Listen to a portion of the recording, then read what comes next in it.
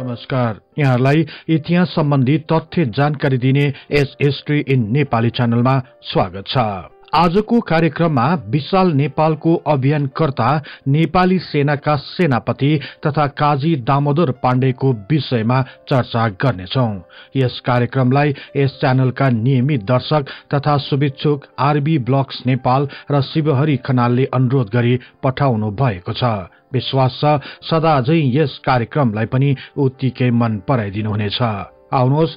नेपाल तथा विश्व इतिहासको बारे तथ्य तथा प्रामाणिक जानकारी दिने उद्देश्यका साथ इतिहासका विद्यार्थीहरूद्वारा निर्मित यस कार्यक्रमलाई मन पराई लाइक शेयर र सब्सक्राइब गरिदिनु अनुरोध गर्दै म कार्यक्रम प्रस्तोता सार्थक नेपाल यहाँहरूलाई हार्दिक स्वागत गर्दछु।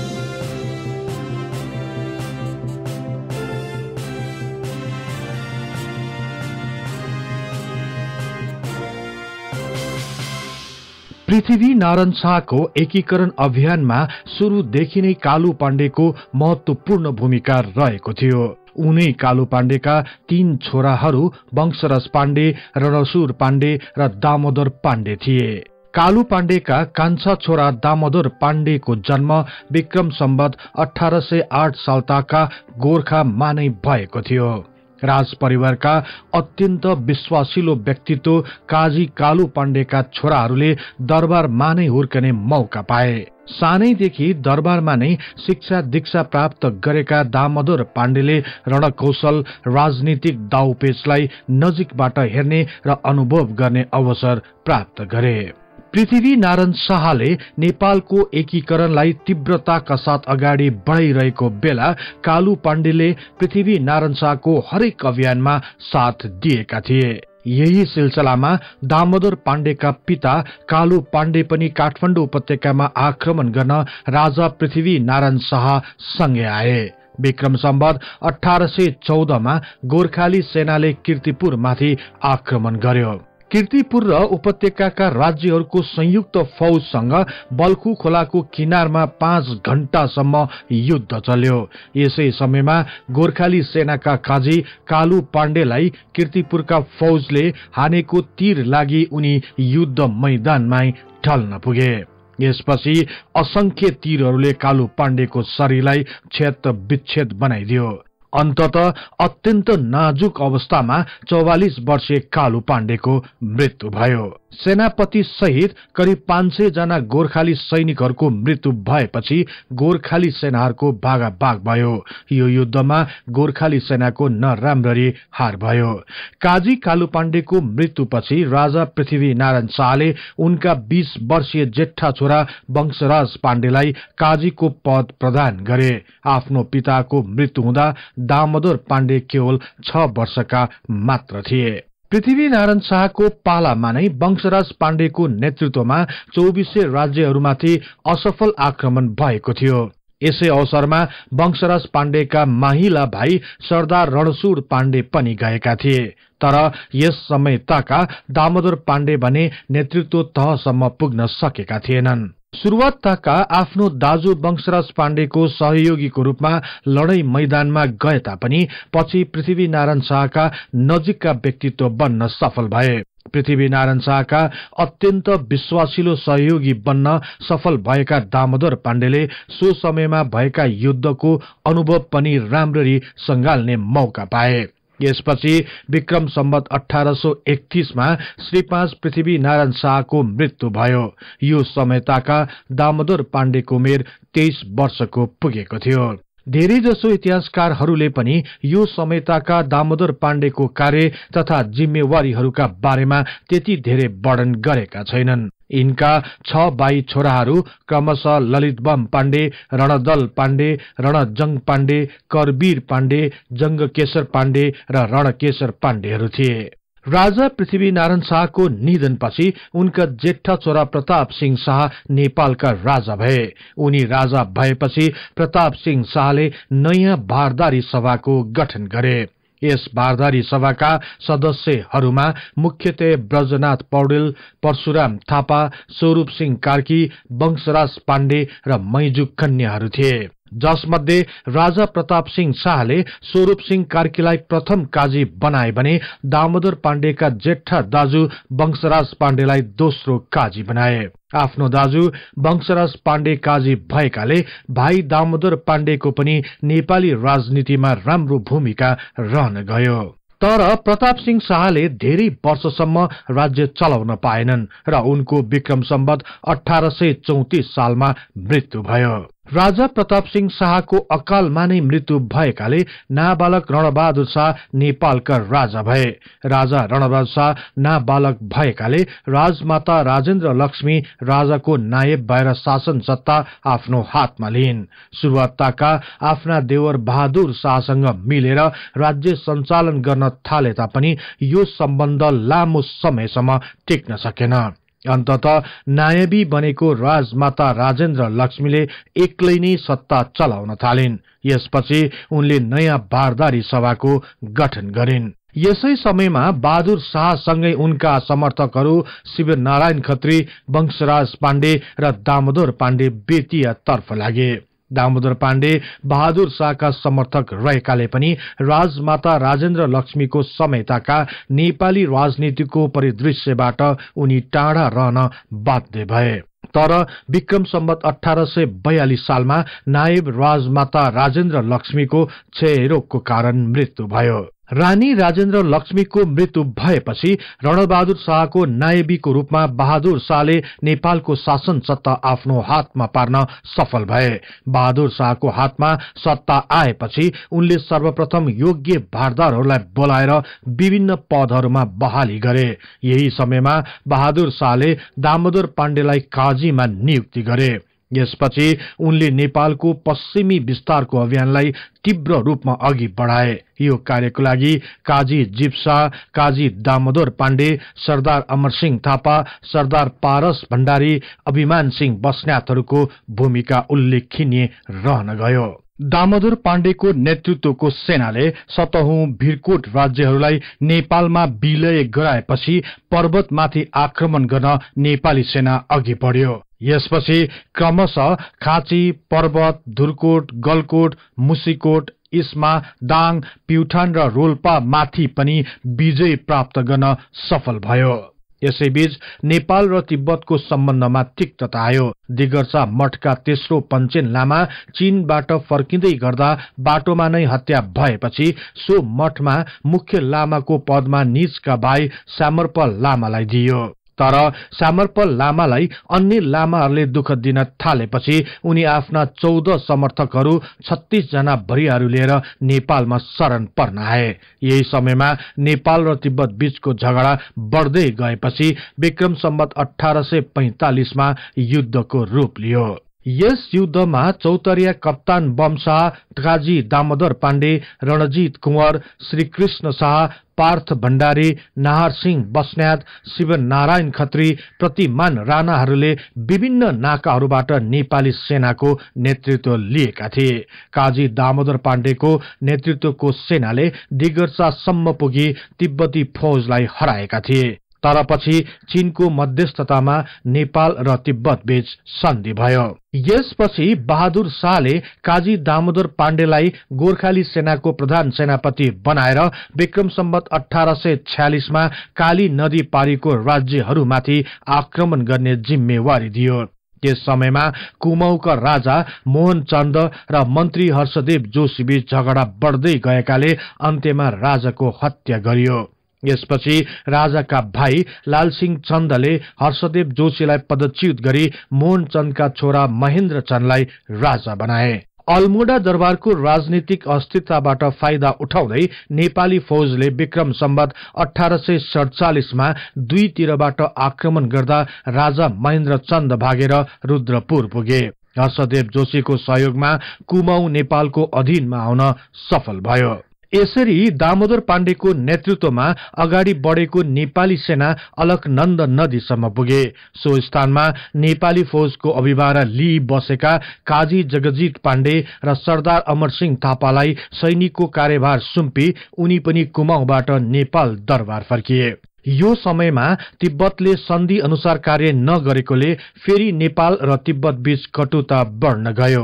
यसपछि तिब्बतले पनि युद्ध गर्ने निश्चय गरेपछि विक्रम सम्बत अठार सय अडचालिसमा बहादुर शाहले दामोदर पाण्डेलाई नयाँ अभिभार दिँदै नेपाली सेनाको सेनापति बनाएर दोस्रो पल्ट तिब्बतमाथि आक्रमण गर्न पठाए। यो समयमा पनि नेपाली सेनाले तिब्बती फौजलाई नराम्ररी हराए। नेपाली सेना दिगर्सासम्म पुगी त्यहाँ रहेको मठमा लुटपाट गरे। सुन चाँदी तथा नगद सम्पत्ति बोकाएर नेपाली सेना नेपाल फर्कियो। नेपाली सेना नेपाल फर्किएपछि तिब्बती सरकारले चीनको सहयोगमा संयुक्त फौजले नेपालमाथि आक्रमण गर्ने योजना बनायो। चीनले नेपालमाथि युद्ध गर्ने योजना बनाएपछि नेपालको पश्चिमी अभियानमा लागेका नेपाली सेनालाई राजधानी बोलाइयो यस युद्धमा चीन र तिब्बतको संयुक्त फौजले नेपाली सेनालाई पछिल्तिर धकल्दै बेत्रावती नदीसम्म ल्याइ पुर्यायो यसपछि चौतरिया श्रीकृष्ण शाह चौतरिया बमशाह काजी अभिमान सिंह बस्नेत काजी धौकल सिंह बस्नेत सरदार शत्रु साधन शाही र दामोदर पाण्डे सहितको संयुक्त सेनाले चिनिया सेनासँग वीरताका साथ युद्ध लडे। चिनिया सैनिकहरू बेत्रावती नदीको साँगुरो पुल तर्ने बित्तिकै दामोदर पाण्डेले एक्कासी तीनतिरबाट आक्रमण गर्ने आदेश दिँदा संयुक्त फौजको भागाभाग भयो। यो भागाभागमा चौध सय जति चिनिया सैनिकहरूको मृत्यु भयो। अन्तत चिनियाहरू वार्ता गर्न बाध्य भए। यसपछि चीनको मध्यस्थतामा नै नेपाल र तिब्बतको पनि सन्धि भयो। यस प्रकार बहादुर शाहको पालामा दामोदर पाण्डेले नेपाली सेनाको तर्फबाट नेतृत्व गर्दै रणक्षेत्रको अग्रपंक्तिमा रहेर अतुलनीय कार्य गरेका थिए।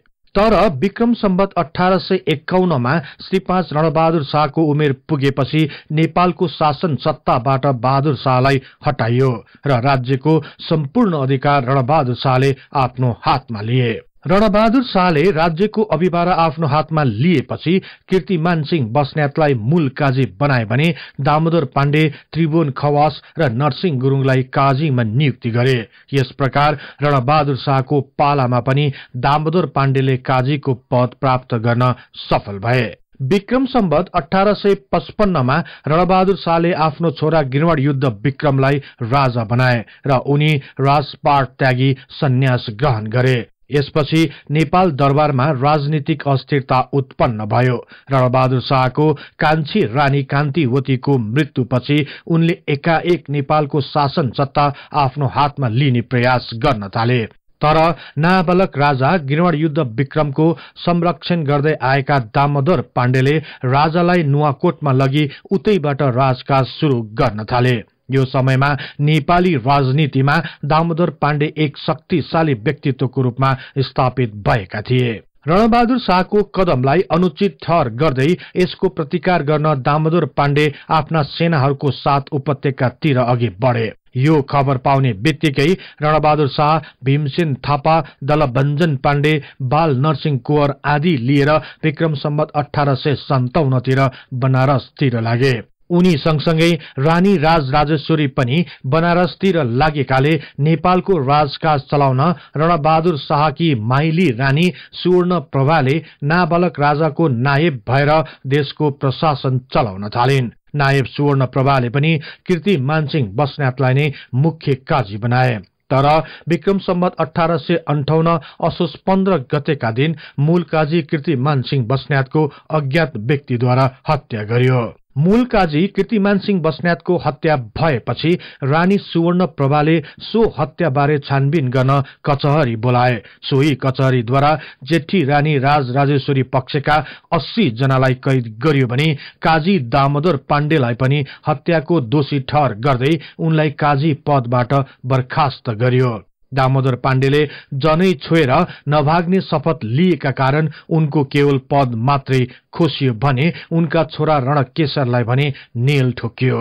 यसपछि विक्रम सम्बत अठार सय उनासाठीमा राज राजेश्वरी नेपाल फर्किन्। जेठी रानी राज राजेश्वरीलाई दामोदर पाण्डेले सुरक्षा सहित भव्य स्वागत गरे। राज राजेश्वरीले माइली रानी सुवर्ण प्रभालाई नाबालक राजाको नायबबाट हटाएर शासन सत्ताको बागडोर आफ्नो हातमा लिइन्। यसपछि राज राजेश्वरीले दामोदर पाण्डेलाई मूल काजी बनाए। यसरी नेपाली राजनीतिमा दामोदर पाण्डे एकाएक शक्तिशाली व्यक्तित्व बन्न सफल भए। यसको एक वर्ष पछि नै अर्थात विक्रम सम्बत अठार सय साठी सालमा बनारसबाट रणबहादुर शाह लगायत भीमसेन थापा दलभञ्जन पाण्डे बाल नरसिंह कुँवर रंगनाथ पौडेलहरू पनि नेपाल फर्किने योजना बनाउनतिर लागे। नेपालको वाणिज्य सन्धि खारेज गरेको र यसैको फलस्वरूप बनारसमा रणबहादुर शाहमाथि लागेको नजर बन्द पनि हटेकाले यही समय नै उपयुक्त हुने ठहर गर्दै रणबहादुर शाहको समूह नेपाल फर्कियो। इतिहासकारहरूका अनुसार रणबहादुर शाह नेपाल आएमा आफ्नो स्थिति कमजोर हुने अनुमान गरी उनलाई रोक्न वा बाटोबाट नै पक्राउ गरी ल्याउन नरसिंह गुरूङको नेतृत्वमा नेपाली सेनाको टोली पठाए। तर भीमसेन थापाले नरसिंह गुरूङलाई आफ्नो पक्षमा पारेकाले रणबहादुर शाहको दल सरासर थानकोटतिर अघि बढे। यसरी नरसिंह गुरूङ रणबहादुर शाहतर्फ लागेपछि काजी दामोदर पाण्डेले आफ्नै नेतृत्वमा विश्वासी सैनिकहरूले थानकोट तर्फ लागे। काजी दामोदर पाण्डेको विशाल सेना आफूतर्फ आइरहेको थाहा पाएपछि रणबहादुर शाह डराए। तर भीमसेन थापाको एक चालको कारण दामोदर पाण्डेसँग आएका सेनाहरू रणबहादुर शाहतिर लागे। काजी दामोदर पाण्डे एक्लो भए। उनले सरकारको स्वागतको लागि फौज लिएर आएको भनी उम्कने प्रयास गरे तर उनको भनाइप्रति अविश्वास गरी तत्कालै दामोदर पाण्डे र प्रबल राणालाई पक्राउ गरियो र उनीहरूलाई पाता कसेर राजधानीतिर ल्याइयो। यसै विषयमा अन्य केही इतिहासकारहरूको तर्क भने केही फरक रहेको छ। दामोदर पाण्डे वास्तवमा नै रणबहादुर शाहको स्वागत गर्न आफ्ना सैनिकहरू सहित रणबहादुर शाहलाई भेट गर्न गएका थिए। तर सो समयमा भीमसेन थापाले रणबहादुर शाहलाई उचाली दामोदर पाण्डेले चाल चल्न खोजेको भन्दै उनलाई कैद गर्न आफ्ना माथतको सेनालाई निर्देशन दिए। किनकि पहिलेदेखि नै भीमसेन थापा दामोदर पाण्डेसँग चिडिएका थिए। नेपाली राजनीतिमा दामोदर पाण्डे रहिरहे आफ्नो अवस्थामा कुनै प्रगति नहुनेदेखि भीमसेन थापाले यो षड्यन्त्र रचेको भन्ने भनाइ रहिआएको छ। अर्को तर्क के पनि छ भने सो समयमा दामोदर पाण्डे निकै शक्तिशाली थिए। उनको माततमा हजारौं भक्त सैनिकहरू थिए। यदि उनले चाहेको भए रणबहादुर शाह लगायतका समूहलाई सहजै बन्दी बनाउन सक्थे तर उनले त्यसो गरेनन्। इतिहासकारहरूको भिन्न मत भए तापनि अन्तत दामोदर पाण्डेलाई कैद गरियो र काठमाडौँ स्थित लुमडी भद्रकालीको सत्तलमा कडा पहराका साथ घेराबन्दी गरियो। रणबहादुर शाहले लुमडीको पूजा गरे पश्चात अघि राज राजेश्वरले कैद गरेका सुवर्ण प्रभा चौतारिया बमशाह बख्तवर सिंह बस्न्यात रणजित पाण्डे आदि भारदारहरूलाई कैद मुक्त गरे। र सुवर्ण प्रभा बाहेक अरू सबैलाई पुनर्बहाली पनि गरे। यसपछि एक रात प्रबल राणाले दामोदर पाण्डेसँग भाग्ने सल्लाह गरे तर दामोदर पाण्डे भाग्ने कुरामा सहमत भएनन्।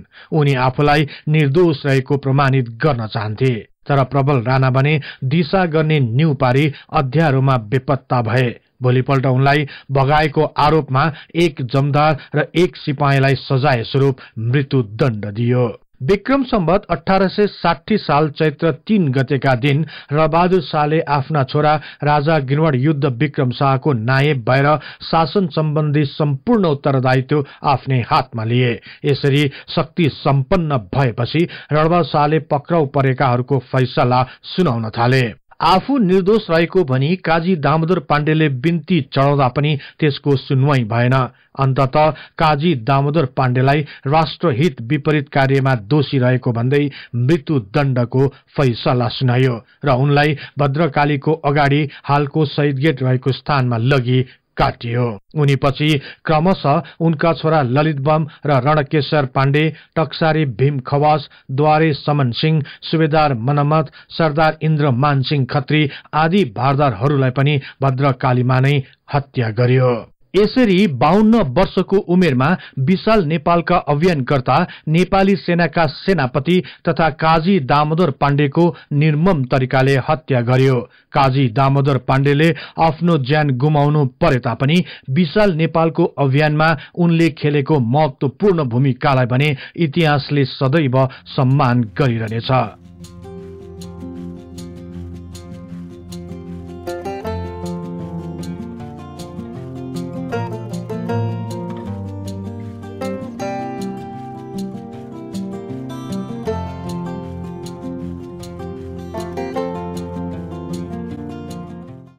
कार्यक्रम यहाँहरूलाई कस्तो लाग्यो कृपया कमेन्ट बक्समा लेखी पठाउनुहोला। यस्तै रोचक तथा तथ्य इतिहासको लागि हिस्ट्री इन नेपाली च्यानललाई सदैव सम्झनुहोस्। इतिहासको कुनै पनि कालखण्डबारे तपाईँलाई सुन्न र बुझ्न चाहना राख्नु भएको छ भने तल रहेको कमेन्ट बक्समा उल्लेख गर्नुहोस्। हामी सो बारे प्राथमिकताका साथ कार्यक्रम बनाउने नै छौँ। जाँदा जाँदै यस च्यानललाई लाइक सेयर र सब्सक्राइब गर्दै बेल आइकनमा क्लिक गरी हाम्रो यो तथ्य इतिहासको बारे ज्ञान प्रसार गर्ने लक्ष्यलाई साथ दिनुहोस् भन्दै अर्को कार्यक्रममा फेरि भेट्ने बाचा गर्दै म सार्थक नेपाल बिदा हुन्छु। हवस् त नमस्कार।